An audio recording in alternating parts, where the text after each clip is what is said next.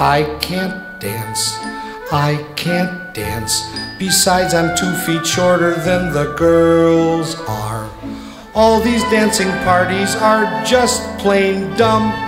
When they asked, I should have said, I can't come. There's a girl with braces standing by the punch bowl and she's making funny faces. I guess she wants a dance.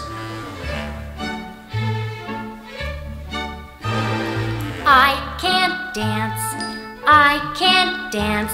Besides, I look so awful in these braces. If that boy wants me to dance, I'll just die. I'm so tall and he's about three feet high. Ever since September, I've been taking dancing lessons. Now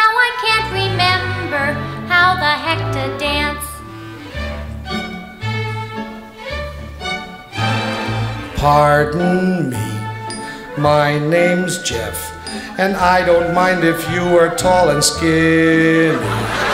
And those braces on your teeth, they're real neat. Thank you for the compliment, gee, you're sweet. Your name is Carlotta. I met you last summer when we went to Camp Granada. You wanna try to dance?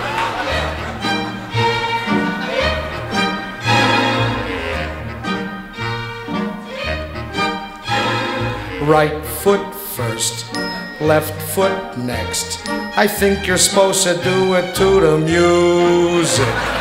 You don't really look so bad, just your ears. When do you take your braces off? Four more years. By the time your teeth are ready, I'll be two feet taller and I'll ask you to go steady.